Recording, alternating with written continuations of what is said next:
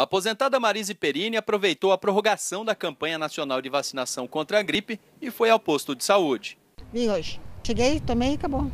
A campanha nacional de vacinação contra a gripe foi prorrogada pelo Ministério da Saúde até esta sexta-feira, como um esforço do governo para alcançar a meta, que neste ano é imunizar mais de 90% do público-alvo.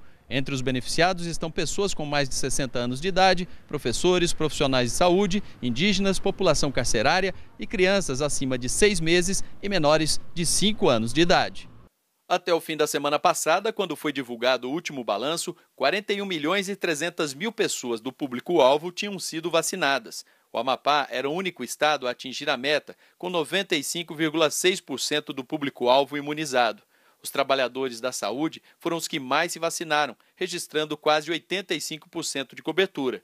De acordo com estudos, a vacinação pode reduzir entre 32% e 45% o número de hospitalizações por pneumonias e de 39% a 75% a mortalidade por complicações da influenza. Por causa da baixa adesão inicial, o Ministério da Saúde autorizou a vacinação nos postos para o público em geral, mas essa opção ficou a cargo dos estados e municípios.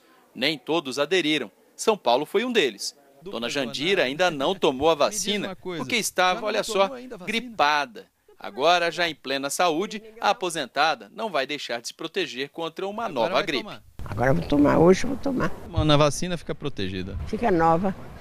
Ah.